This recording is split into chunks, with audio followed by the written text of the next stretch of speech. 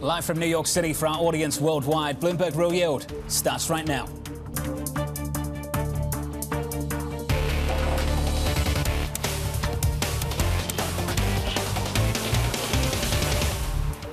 Coming up, downgrading the economic outlook, the Treasury market rallying on weak data, and credit spreads breaking out. We begin with the big issue. Here come the downgrades look at what's happening to the real economy. We're looking at an economy losing momentum faster than you know what we anticipated. Economists have begun to cut their top-down economic forecasts for GDP. This is a global story. Input costs have risen substantially. We're seeing demand destruction in some areas. The consumer is on somewhat more fragile footing. We do expect the Fed to hike rates more aggressively. The Fed has been driving the car looking through the rearview mirror. The economy is slowing, and the Fed is saying that's collateral damage. Companies and consumers need to get ready. Frankly, we think they can keep going. I don't think they blink. We did see some pretty notable down downward revisions. We expect more downgrades.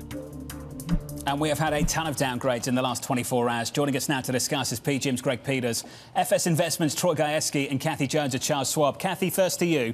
I've asked this question a few times this week. We've had market volatility. We're getting economic weakness. From the perspective of the Federal Reserve, is that a feature or a bug? Well, I, I, think we all agree it's a feature. Um, they've admitted that you know driving the economy to a point where demand slows down uh, to meet up with supply is the goal, and uh, implicit in that is the risk of a recession, rising unemployment, and they seem to be fine with that. They've adopted this sort of Volcker-esque approach that inflation is their um, their target, and their commitment to getting it down is unconditional, no matter what happens. So, I think there were some questions early on as to whether they really meant it. I think now the market believes that they mean it. Greg, do you agree?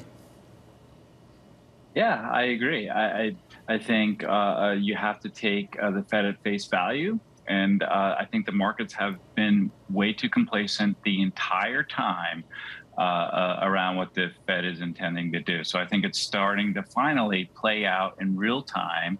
and I'm not convinced that we're even close to the end of it. So, Troy, would you say it's too premature to price out hikes and start pricing in rate cuts?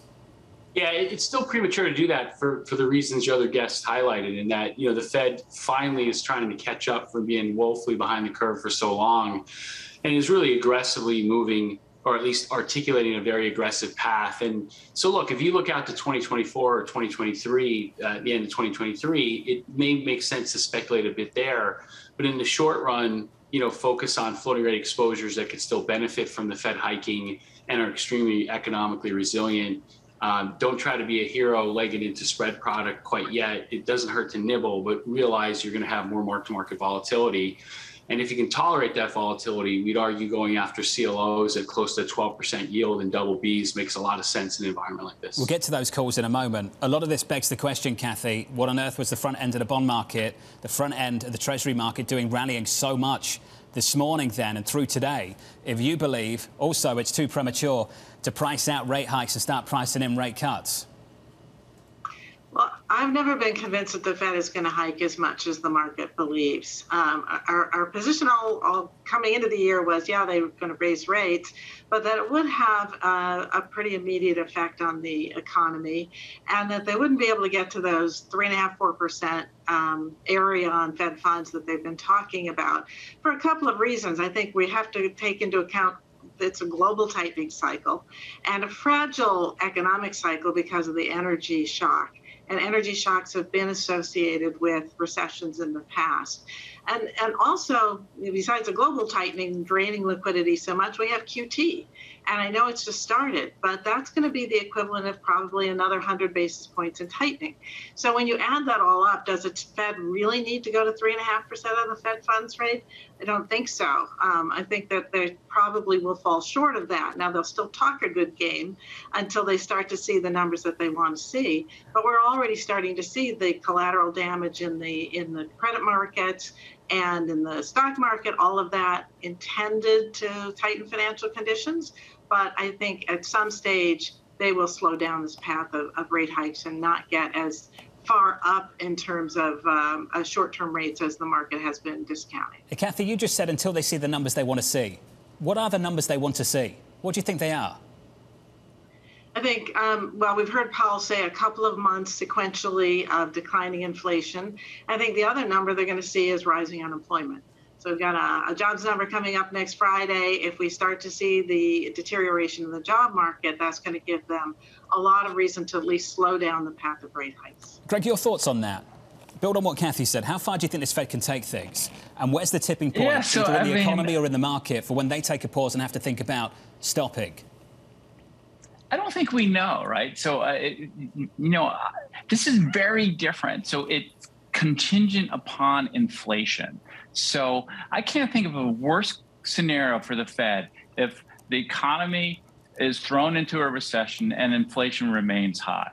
So for me, like backing off because the numbers around growth are slowing doesn't matter. It's about inflation. They have to worry about inflation. So I what I also think there's a conflation between what people are saying around peak hawkishness and peak inflation.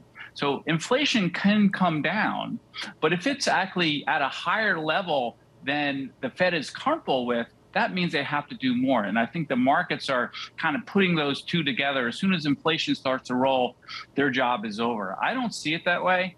Uh, the you know, no one really knows, of course, but to me, uh, the risk is that uh, they have to do more because inflation is really showing signs of being much more sticky and broad based than initially thought. So, Craig, take that another step.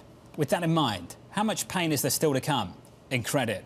With investment grade spreads through 150, you've got high yield spreads through 550, almost at 570. Triple C's, the junkiest of junk. We talked about that, 1,000 basis points. How much pain is there still to come? Also, I've yet to experience a credit market that actually uh, doesn't widen in a recession. So, if you think there's a recession or a high probability of a recession, then I think there's more spread widening.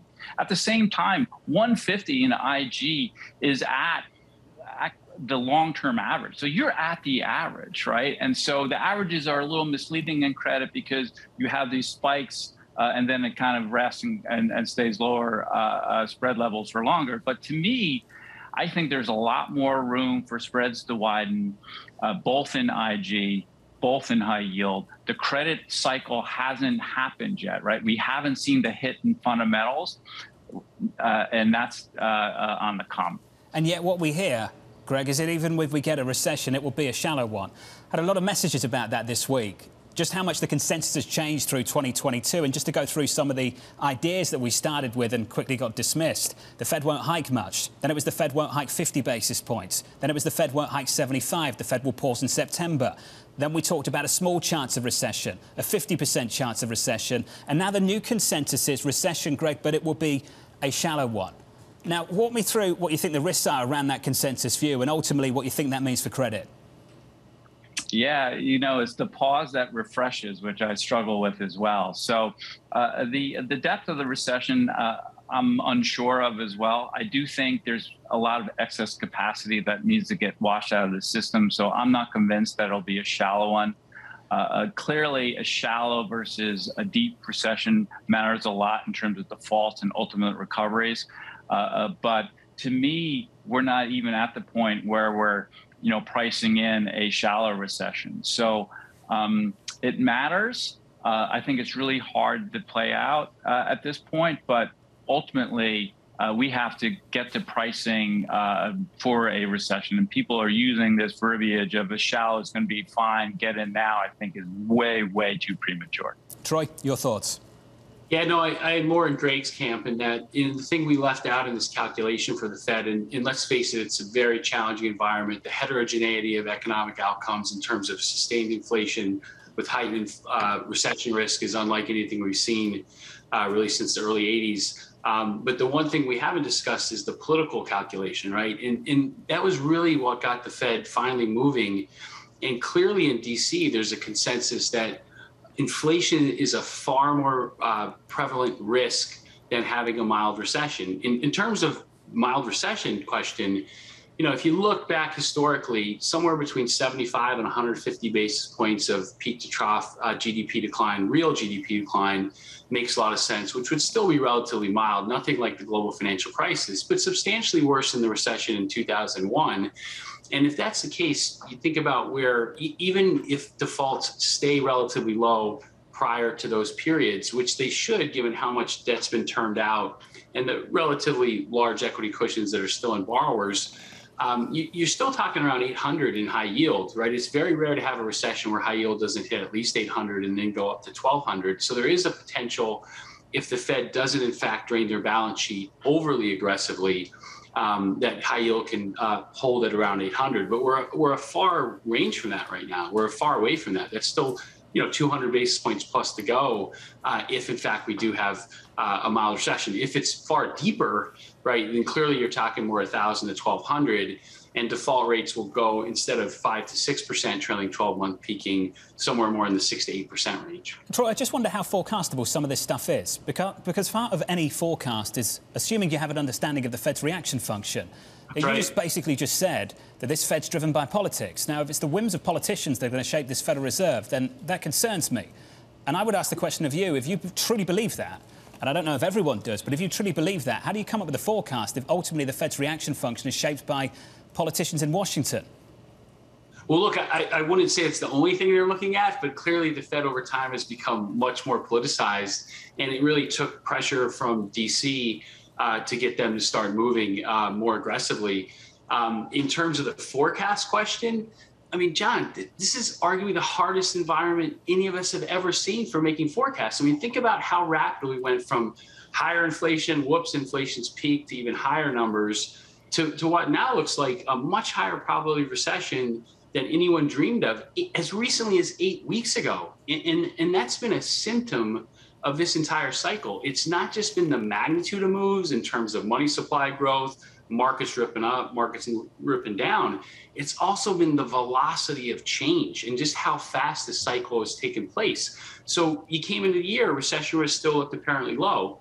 Um, before you knew it, it was rising significantly. At the same time, inflation numbers were making higher and higher highs. Uh, you know, stagflation is not our base case, but it's also a scenario that you can't uh, categorically dismiss for the reasons you know. So, very, very hard to make forecasts. You can point to various periods of history, 2000 to 02, where you have financial asset mean reversion to the real economy, coupled with some 70s style stagflation in there.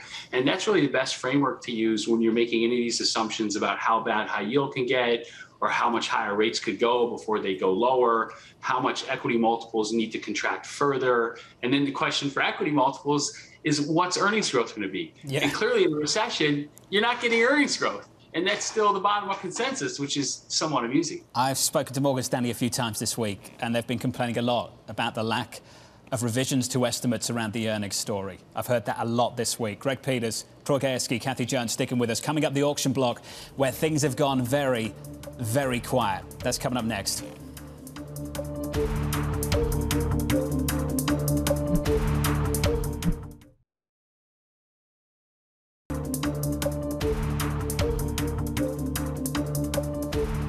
Live from New York City, I'm Jonathan Ferro. This is Bloomberg Real Yield. It's time now for the auction block, where we kick things off over in Europe with volatility keeping a lid on activity this week. Sovereign issuance from Spain and the UK helping push monthly volume up to 89 billion euros. In the US, high grade bond sales stalling ahead of the holiday, falling short of estimates for a third consecutive week.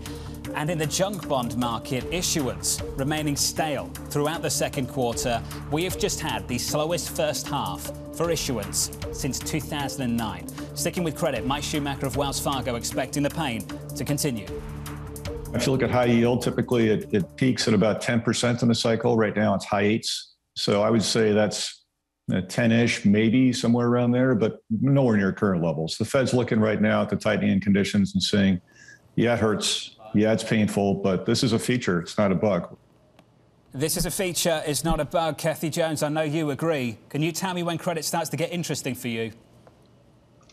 Um, well, I would agree with uh, with Greg. It's it's not time yet. It's premature. Um, we've been holding off on um, on high yield and even on investment grade, just being really cautious there because we do think the economy slows down. We think it slows down a lot faster and perhaps deeper, I think, than the consensus. And although a lot of debt has been termed out, um, you know, this is not yet. Uh, we're not at levels yet that's all that interesting. So yeah, I would say high yield at least, you know, 850 over. Uh, 750, 850, we might start nibbling, but again, it depends on um, where the economy is at the time. Wow. Greg, your thoughts on this as well, please. We've seen the wides of late 2018 taken out. In 2020, that was a problem. They had to step in, become max dovish. In late 2018, this Fed had to pivot. Clearly, they're not going to pivot this time around with spreads at 570. But one big, bright, red flashing light back in late 2018 was the primary market seizing up. Now, Greg, I'm not saying it's seizing up, but I am saying that we've started to see supply really come off. When does that start to become a problem, do you think, Greg? I don't think it's a problem in and of itself. So the backing off of supply has to do with higher yields, right? It's more costly for companies to come to the market today than it was six months ago. And then keep in mind, there's just been this deluge of supply. Companies have issued at a pace we haven't seen before. So they already have their liquidity, they already have their their funding in place. There's not this maturity wall. So I, I don't think that's such a huge story uh, in and of itself. Uh, but you know, to me, to Kathy's level, I think 850 is a great level. Anytime high yield has been over 800 basis points, it's it's rewarded you handsomely. So that is a real level. The trick with fixed income is that you have these spike higher in spreads and yields, and it doesn't sit there for that long, and so it's really hard to capture. So as you get closer to those levels, you have to get more constructive. You have to wait in, um, even if you're early, because spreads touch a level and they come down. Troy, when do things get interesting for you? Well, look for the, for the time being, there's still interesting things to do in the senior part of the commercial real estate capital structure, given how economically resilient they are.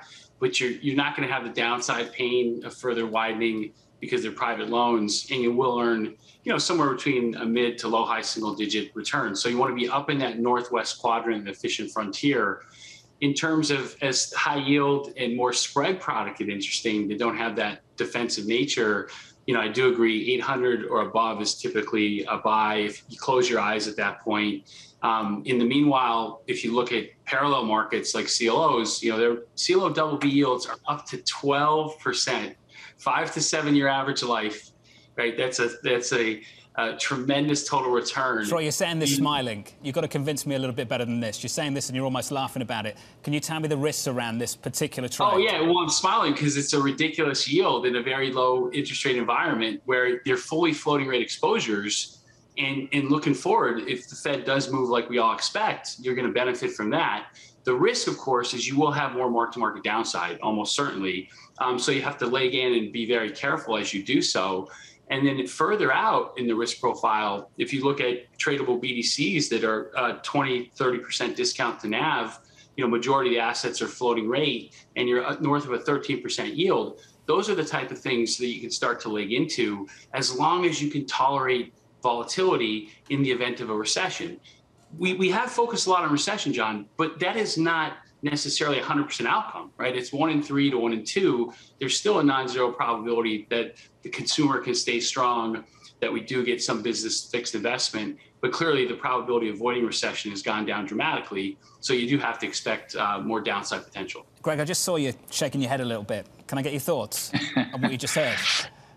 Yeah. So, uh, Look, I mean, the double B uh, CLO trade uh, is really sticking your uh, head in the uh, tiger's mouth. Uh, you are super levered to the underlying collateral. You are extremely exposed to defaults and losses. To me, uh, that is where the pain is going to be.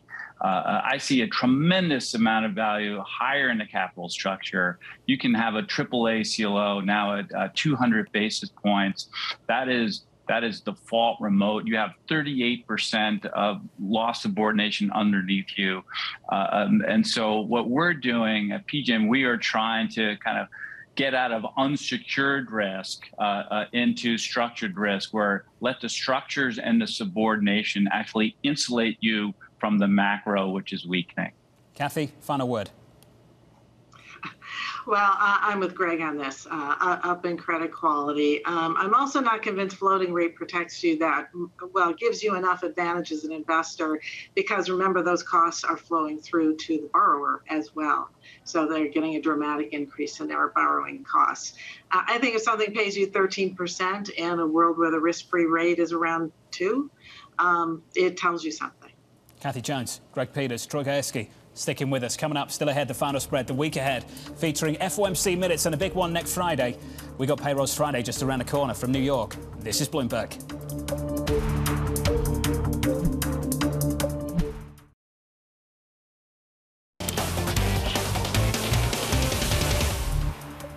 Live from New York City, I'm Jonathan Ferro. This is Bloomberg Real Yield. It's time now for the final spread the week ahead. Coming up, markets close Monday, of course, for Independence Day. Long weekend coming up stateside. Ton of PMIs from China, the Eurozone, the United States throughout the week. FOMC minutes on Wednesday, ton of Fed speak. And finally, we close out the week with payrolls Friday. Just a note from JP Morgan, Mike Feroli, just downgrading economic growth. The following quote Softer economic data this week, leading us to revise down our tracking of 2Q real GDP growth from 2.5 to 1%. Our projection for 3Q, 2% to 1%. And I can tell you the Atlanta Fed GDP now GDP forecast, negative 2%.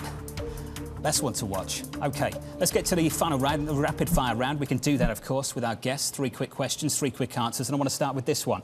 Have we seen the highs on the 10 year yield for the year? Have we seen the highs for the 10 year yield for the year? Kathy, yes or no? Yes. Troy? 70 30, but more than likely, yes. Greg? I'm with Troy. 70 30, more likely, yes. Okay. I want to see if this has changed. Fed funds, where does it peak for the Federal Reserve? One handle, two handle, three handle, four? How high is this going to go? Kathy? Uh, three handle. Troy? Three. Greg? Three, but almost four. Okay. Last one on high yield spreads. Three 550 this week, in and around 570 the last time I looked. What do we see first on high yield spreads? 650 or 500? Up to 650, maybe through it, or back down to 500. Which one? Greg? Uh, 650. Troy? 650. Kathy? 650. We're all on the same page there, aren't we? Greg Peters, Troy Gayeski, Kathy Jones. So the three of you, thank you. Enjoy the long weekend. From New York City, that does it for us. We'll see you at the same time, the same place next week. From New York, this was Bloomberg Real Yield. This is Bloomberg TV.